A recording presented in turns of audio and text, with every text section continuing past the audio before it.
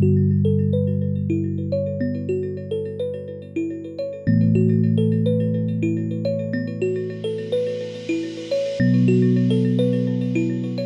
dirais que la nouvelle A3 Sportback, ou la nouvelle A3 de manière plus générale par rapport à l'ancienne génération, apporte à la fois des éléments sur le design, puisqu'on a encore plus étiré les lignes pour avoir un design encore plus pointu, plus dynamique, euh, plus élégant aussi.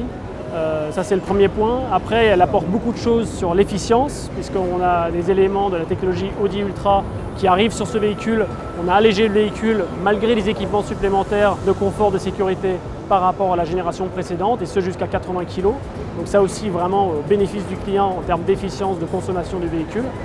Dernier point de vraie différenciation par rapport au modèle précédent, c'est les nouvelles technologies qui arrivent dans le véhicule,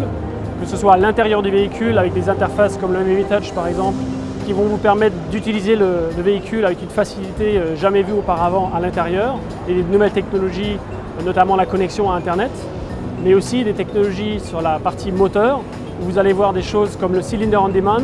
donc une technologie qui va encore aller chercher plus d'efficience et moins de consommation, avec des émissions de CO2 qui seront de l'ordre de 99 grammes euh, au kilomètre.